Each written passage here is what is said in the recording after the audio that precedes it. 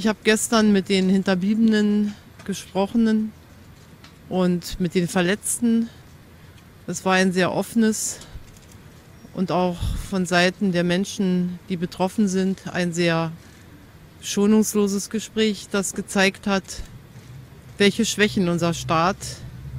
in dieser Situation auch gezeigt hat. Und für mich, und das sage ich für die ganze Bundesregierung, heißt es, daran zu arbeiten, dass wir die Dinge, die nicht gut gelaufen sind, besser machen, dass wir alles Menschenmögliche tun, nicht nur die Sicherheit zu gewährleisten, sondern den Menschen, deren Leben zerstört oder deren Leben getroffen wurde, auch die Möglichkeit zu geben, möglichst gut wieder in das Leben hineinzukommen. Deshalb werde ich auch die Angehörigen und die Verletzten in einigen Monaten noch einmal treffen, um deutlich zu machen, was haben wir gelernt, was werden wir in Zukunft anders machen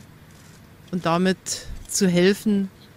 diese großes, diesen großen Anschlag auch so zu überwinden,